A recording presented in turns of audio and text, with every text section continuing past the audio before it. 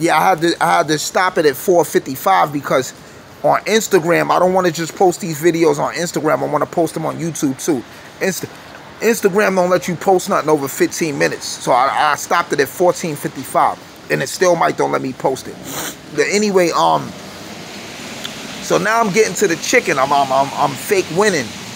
I'm winning, but I'm fake winning is like I'm not winning how I really want to win, but I'm getting to it. So um, at 09, you know, the chick I was fucking with from Marble Hill, she was like letting me rock. She was letting me do what I want to do, whatever, whatever. But she was like, Sheik, just be be mindful of who was there for you when you was down. I'm like, nah, I got you, queen, whatever, whatever. Boom. So um, I want to meet in my um my fourth baby mother out in Yonkers. Because my fourth baby mother is my first baby mother and my fourth baby mother is from Mount Vernon. But my fourth baby mother was in Yonkers and she was heavy out there with the dust water and she had the perks. So anyway, me and her links up. We rocking and um I'm moving and shaking. Now I got the keys to two different chicks' cribs. My my fourth baby mother, this before she had my kid, we rocking. And the Cougar, um, the, the older joint. So so anyway, I'm, I'm hustling, I'm moving and shaking, I'm getting to it, boom, boom, boom. And then from there, it was just a, a, a bunch of different transitions, ups and downs and all that. But I, I had to strategize and I came up with plans and different things that worked for me. So one thing I learned that worked for me, I learned how to bid in the streets. And what I mean bid in the streets is this. I'm still on jail time, but in the streets. I say this a lot in my blogs because I need y'all to understand the importance of having a regiment and being disciplined, right? So I bid on the street. So I always keep two jobs and outside of the, the two jobs is my programs. My apartment is my is my cell. If I go food shopping, they load up on food, that's commissary. When I'm on, when I'm in one of the parks in Harlem or in the Bronx working out, pull-ups, push-ups, dips, and all that, that's the yard. That's rec, right? That's rec. Um, outside of those situations, work, exercise, food shopping, I'm in the house. I'm writing music. Now we could count the studio too. There's no studio in jail, but in jail I wrote a lot of music. So you know I'm always home. I'm writing music. I don't have TVs or nothing because I saw distractions. If I want to watch TV, I go to one of my baby mother cribs, right? Um, my phones. When I go to bed at night, I turn my phones off. I turn all electronics off because your body is electricity. Your brain waves is electricity, and when your phone is on, it's sending electrical current and waves while your body is resting. And subliminally, you won't get the full rest you need. I don't know the level of iPhones yet, but because I don't have an iPhone, but soon iPhone is going to be able to record your dreams and and basically um dub your mindset while you while you sleeping. Because now your guard is no longer up. When you sleep you're kind of like in a um in an isolated physical state so you're not going to even be able to um like a certain type of system it's kind of like um in your in it like with generators at night it's like night light your brain kind of shuts down and become mellow so it's more easier for um it's going to be more easier for iphone to duplicate your mindset, your mindset. But that's another thing. That's clairvoyancy, and that's dealing with a different situation. But anyway, a lot of these people that's homeless ain't necessarily broke. There's rich people that's homeless. They don't want to be rich no more, or they just don't want to have responsibilities no more, and stuff like that, right? And then there's people that's internal homeless. And that means people are having an apartment, but their apartment will be empty no furniture, no nothing. They sleeping on an air mattress. Their cabinets, they cabinets is empty. You know, and their house is like outside. It's rat infested. It's roach infested, right? But homelessness is a mental condition. It's an um, it's an emotional condition. It, it it's all type of things, right? Because society sets these standards that they want us to live by, and a lot of these standards go against our normal nature.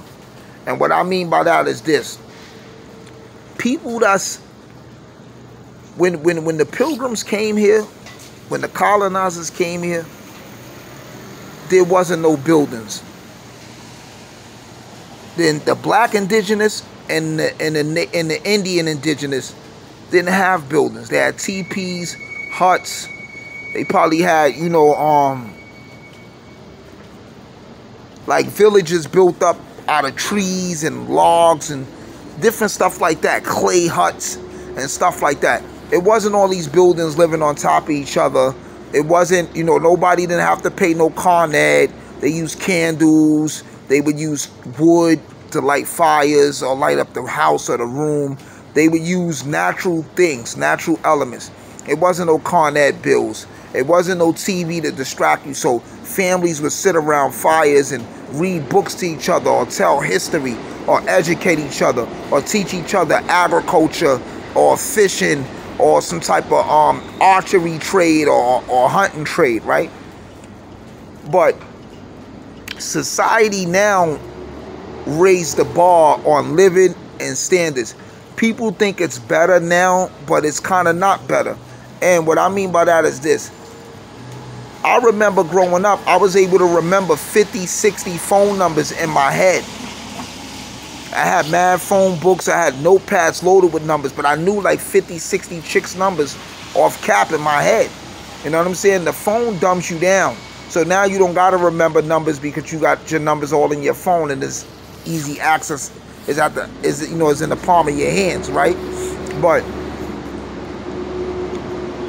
what they did was they created a way to find out to find they created a way to consume all our time that way we don't focus on them. Back then when the Indians and the indigenous blacks and the indigenous Indians and even in Europe, the Irish or the Scottish when they was going to war against England and everything, it wasn't no TV and all that. It wasn't I'm going to watch Power Martin and all that. So these people had time to focus and really see the doings of the oppressor, the ways of the oppressor. Right? Um But nowadays, people don't even have time to encounter the oppressor because they worrying about working two jobs to pay rent, to pay bills, to get food, to do this, take care of the kids, do that, do this, pay this, pay that, right? So your mind is distracted on everything else, surviving and just getting by, while we still being oppressed and booby trapped and controlled and monitored and dictated upon and oppressed and everything. These homeless people don't even want to deal with none of that shit. They just want to live free. They just want to be free, free of bills, free of responsibility. Let me just shoot this dope, nod out, sleep. Long as I get the minimum food and sustenance to eat. They shit outside. They shit on the wall. Sometimes they don't even wipe they they you know they behind. They butt be itching. You know, and um I record them a lot. You know, I record dope fiends leaning and passing out, but it's really not in gesture. It's just to show y'all what's really going on in this world. Because this shit is complex. You know, and it's only going to get worse. And in the future, a lot of people who think they're all right and got cars and all that, and got apartments and got luxury things, and like I thank Allah for these warm coats and stuff like that, but a time gonna come where um we all might gotta leave and evacuate our place of residence because we're not following the rules and the legislations of the oppressors. So a lot of people are going to eventually have to run and live in the wilderness anyway. Going to have to retreat back to the country anyway. And people going to have to learn how to build their own homes from scratch with twigs, wood, and whatever they surroundings have, and people gonna have to hunt. I know y'all probably think this ain't gonna happen, right? They say this whole epidemic situation, oh, this, that, the numbers is rising, boom, boom, boom, boom. But if you notice, they don't bother none of the homeless people. The homeless people is free of getting vaccinations. And they eat garbage. They eat food out the garbage. They, they sleep on the floor with the rats and the roaches. And these people don't get sick. They don't get COVID. And the government ain't forcing them to get COVID. But they forcing us to get COVID. People who have jobs and who are employed right? But we on a train with these same homeless people who didn't get the shot or who don't got this or who don't, you know what I'm saying? So how they don't know we exposed to something far greater. But, you know, this is the contradictory of the establishment, right? This is the contradictory of the establishment. Homelessness is not a game, whether it's internal homelessness or external homelessness. Some people are spiritual homeless. Some people are psychologically homeless. You know what I'm saying? There's different levels to homeless. You know, some people don't. It, some people don't have no integrity. You know, some people just do any and everything they, you know, they they they heart desires and they cravings and you know and stuff like that. But um,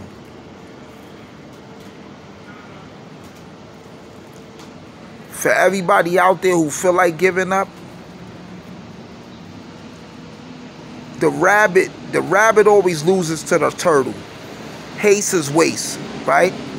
Never be in a rush to win. Take your time and go with your pace. And eventually you will win. Don't live by nobody's standards. Don't live by nobody expectations. You set goals and levels and expectations for yourself. You set a point A to point Z for yourself and you go with your pace. Forget what other people think forget other people, you know, other people expectations of you. Let them have expectations for themselves. What works for you might don't work for somebody else, and what works for somebody else might don't work for you. So, if there's if there is anybody out there on Instagram and on YouTube or anything, and y'all homeless or you know, y'all feel like giving up and y'all mentally and spiritually defeated, psychologically defeated, emotionally defeated, or as dudes that's living with a girl and um she be telling y'all pack y'all shit and get out and stuff like that. Listen, man, I don't care if it's a dishwasher job or a job sweeping barbershop floors. Slow money is better than no money, and sacrifice is sufficiency. And what I mean by that is this sometimes you got to save your money and don't go to no clubs and don't smoke that weed and don't drink that liquor and just save all your money. And then you'll rent a room. And then from a room, you'll get you an apartment. And then from an apartment, you can get whatever else you want. You got to take baby steps. But movement is medicine. So as long as you being progressive, eventually you're going to get to where you want to be and win. If the elevator breaks down in a project building and you live on the 11th floor, you get to the 11th floor by being step by step. Because you can't take the elevator no more and take a fast leap. You got it in order to get to the 11th floor, the 12th floor, a higher up floor, you got to go step by step. So the same applies to life, man. You got to go step by step and you got to just, you got to inch up. Just inch your way to the, inch your way up the ladder. You know, some niggas make it look good. You know, they got the big chains. Niggas got the big cars. Some dudes is fly. Niggas got gear. But you don't know what they did to get this stuff. You know, some people take shortcuts. You know, but I'm to tell you this. Shortcuts don't last long. People who take shortcuts to win don't last long, man. So take your time. Live by your rules and your standards and your morals. And don't let nobody dictate for you how to win and what's right and what's wrong. You know, and that's even me when I be posting, yo, this what New York City look like and you know, this how New York City dudes supposed to dress and New York City chicks supposed to dress. If y'all dudes want to wear tight spandex jeans, bro, put on a Richard Simmons suit, man. Let it crush your nuts. Give yourself a wedgie. If y'all want to wear funny spaceman Kanye boots, wear them, man. That's y'all. You know, do what you do. Live for you, man. The gods don't mingle with the mortals. Kings don't eat with the peasants. The only time wise men hang around fools when they're educating them or enslaving them. Stay up like a couple hour back on my collar crack. We get up like sit-ups. Iron them oxygen. Uno.